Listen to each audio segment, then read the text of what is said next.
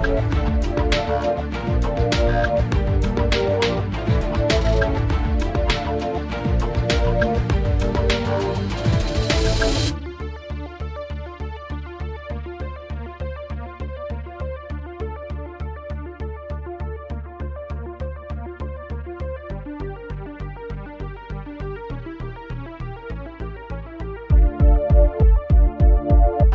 guys don't need anything but each other for your inspiration today. I know today's a big game. I know there's excitement. I know there's anticipation. I know there's nervousness. But I'm going to tell you right now what we have greater than any team that I've ever coached. And I'm going to go that far. And I'm not just saying that because of this moment. Is you guys, I've never coached a team that has each other's backs as much as this team does. I have never enjoyed coaching a team that likes each other as much as you guys like each other. I've never coached a team that at times drives me mad.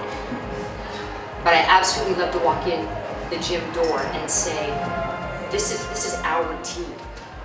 And as a coaching staff, we've talked about that. We've talked about that a lot. That you guys get your inspiration from one another. We don't have great players. We have a great team. Let's go.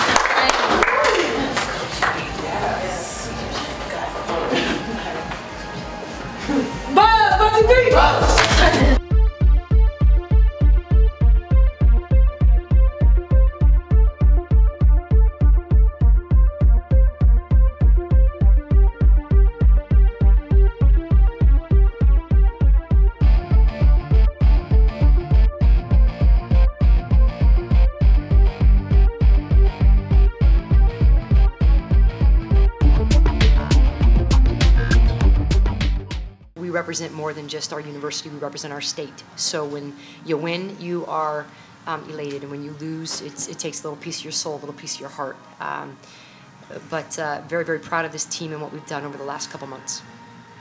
I think it was a different pace. Um, is it something we've seen before? Yeah, but I think uh, what they do, they do very well. Um, as our coach said, they're very athletic and um, they executed today. For us, it means a lot, um, especially me being here for four years. Um, that was a dream come true to come to the tournament. Um, was it the result we wanted? No. Um, but for our program and our state, it means a lot for us because we put ourselves on the map. Um, this was a four-year process for me, um, two two-year process for Megan, and she still has two more years. So um, it means a lot. It, the expectations we had since we can we bought in to the system with Coach Beeman, um, just stepping on campus and stuff like that. Um, it means a lot to our fans, and it means a lot to us as a team.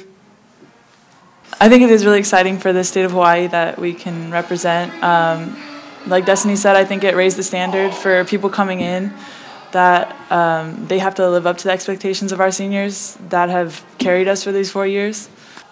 I don't think it's often that kids get to play for their dreams. Um, and this was a dream from the moment that Destiny King walked in this door. Um, my first recruit, and she was the kid that I said I needed to help change this program, and she did that. Um, so for Destiny and Ashley, Marissa Wimbley is the, the first four-year kids that I've ever had. To end on this note, it, it's overwhelming. It makes my heart full. Um, for me to be in a situation to lead this program with the wonderful administrative support that I have, a great group of women that um, have chosen to play in the state of Hawaii. Um, if you don't live in Hawaii, you don't understand it. But to be a part of the first team, to come back to the tournament since 1998, um, is an honor. Uh, you know, my mom looked at me and she goes, honey, this is a bucket list for me, and I know it's a dream for you. And uh, she's absolutely right.